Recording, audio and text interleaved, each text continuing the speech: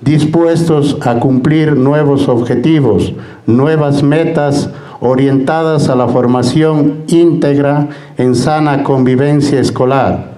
Nuestra derrota está orientada a que los estudiantes construyan una sociedad fraterna, tolerante y solidaria a través de sus competencias académicas, la libertad individual y el sentido de responsabilidad en cumplimiento de sus paradigmas del buen vivir.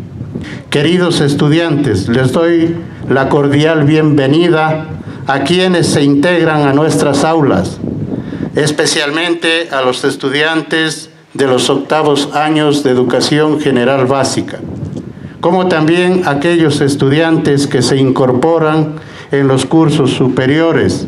Y a todos ustedes, queridos estudiantes, mi mensaje. Aprovechen la estancia en este maravilloso escalón.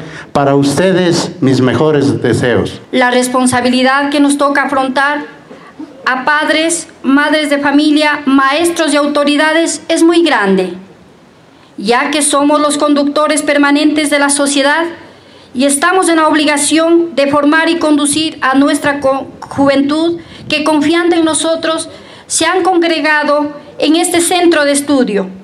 Y segura estoy que no los vamos a defraudar, porque el Ciudad de Girón cuenta con un grupo de docentes muy comprometidos con la labor educativa, un grupo de seres humanos que practican y transmiten los valores de la honradez, el bien común, el amor y la justicia para reducir las lacras de la violencia, la corrupción y otros antivalores que continúan penetrándose en nuestra sociedad.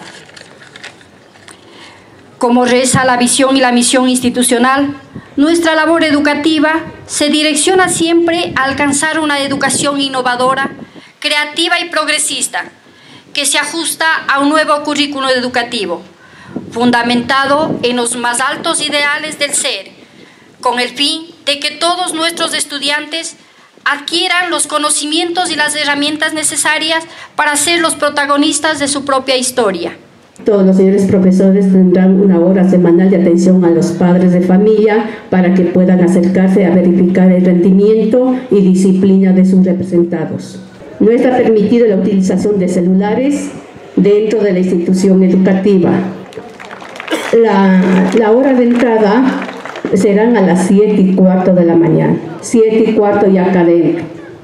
Que en este año lectivo se desarrollen las actividades de la mejor manera, al par con los derechos y obligaciones, sin dejar a un lado también la construcción de los valores que mucho nos hace falta hoy en día en nuestra sociedad, que por ciertas circunstancias, en algunos casos, está en decadencia.